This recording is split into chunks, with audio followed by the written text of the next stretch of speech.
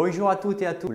Aujourd'hui, un autre tuto déco, en l'occurrence protection du sol. Alors quand on attaque des travaux de peinture ou des travaux d'enduit, il est préférable de protéger son sol. Alors évidemment, on peut protéger, il y a plusieurs façons de le protéger. On peut le protéger avec des bâches absorbantes. Alors, le petit problème des bâches absorbantes, ben, il faut penser à les faire suivre ou alors il faut bien les scotcher. Mais la bâche absorbante, ben, le problème c'est que des fois, ça tombe pas toujours bien dans la pièce. C'est quand même dommage de, couper les bâches absorbantes.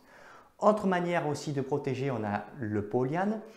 Le polyane présente quand même quelques défauts.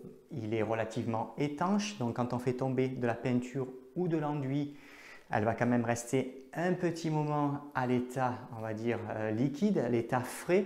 Donc si on marche dedans que pour X raisons, on va sortir de la pièce et qu'on n'a pas fait attention, on va en mettre de partout.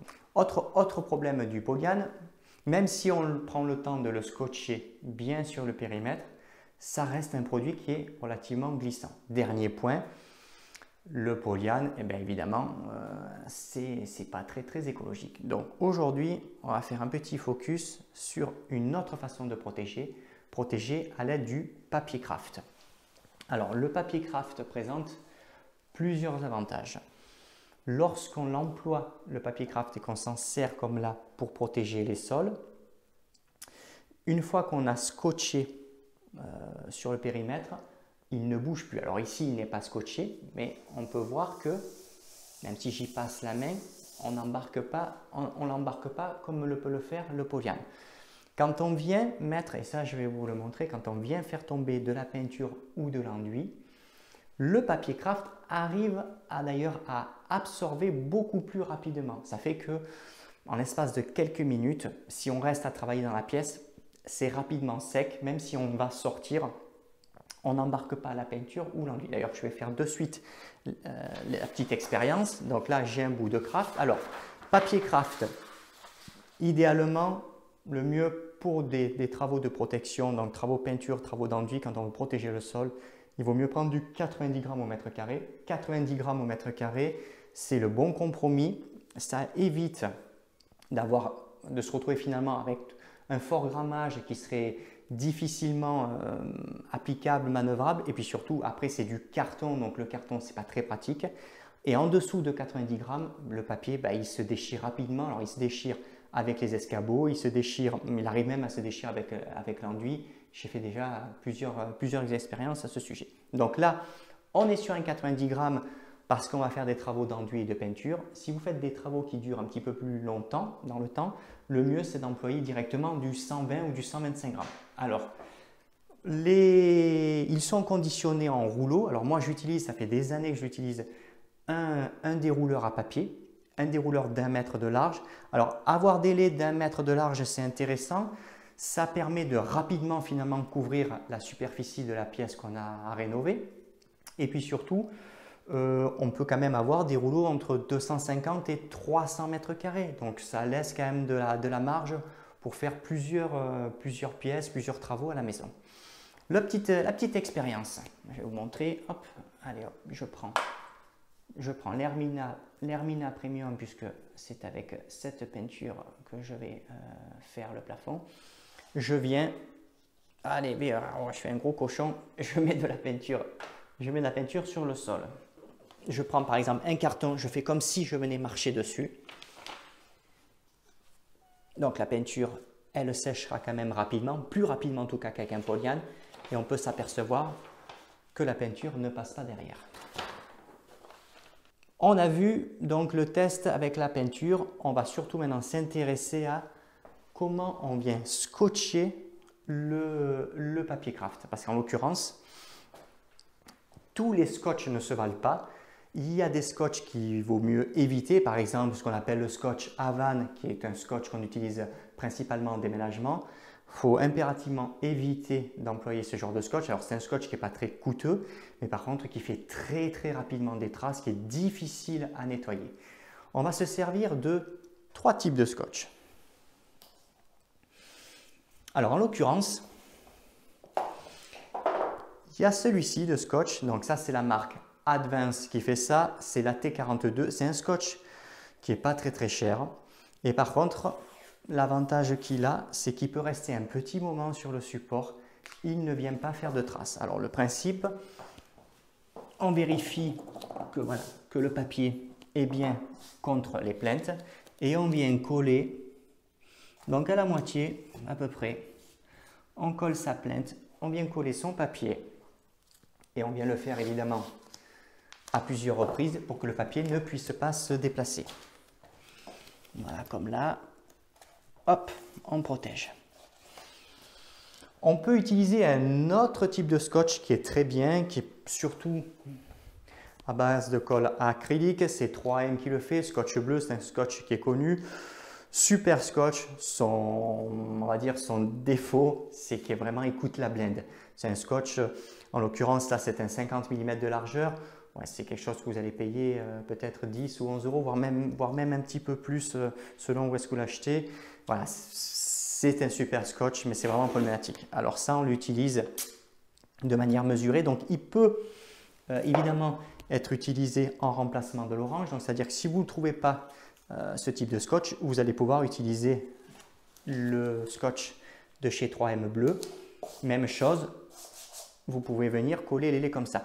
L'avantage que a le scotch de chez 3M, c'est que le principe, même si vous venez le plier, là, il est complètement plié. On arrive toujours à le déplier et à s'en resservir. Donc, excellent scotch, mais voilà, qui reste un produit quand même coûteux. Et quand on commence évidemment à scotcher au sol, ben, les rouleaux, on les fait vite, on les fait vite passer. La T42, donc le scotch chez Avens, donc il fait très bien pour pouvoir scotcher le papier craft. Son petit défaut, on va dire, euh, il tient très bien sur les supports euh, donc type plainte. Euh, il s'enlève aussi sans faire de traces. Moi, j'ai fait des expériences sur des chantiers qui duraient un petit peu, il n'y avait pas de problème. Son seul, on va dire, son seul, voilà, son seul défaut, c'est que curieusement, il va arriver à se décoller finalement du papier en lui-même. Donc vous allez vous retrouver avec des laits de papier qui, entre guillemets, vont être mobiles. Donc si c'est un chantier de courte durée, vous utilisez celui-ci. Si le chantier euh, doit durer un petit peu plus longtemps, il est préférable d'utiliser le bleu de chez 3M. Il y a également le scotch qu'on connaît, donc euh, là en l'occurrence c'est de la marque Plasto, pareil 50 mm.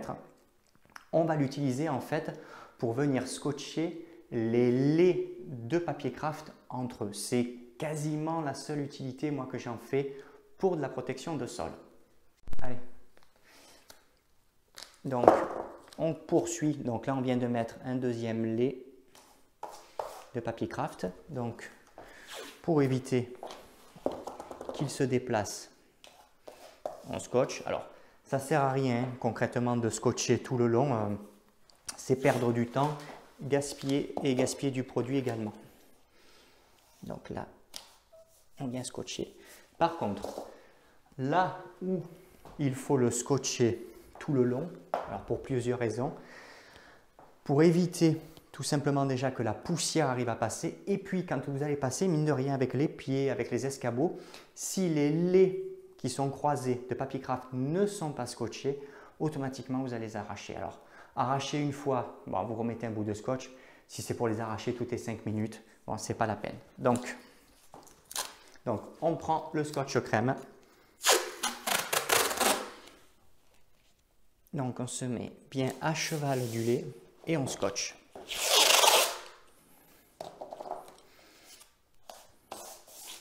Donc, on scotche.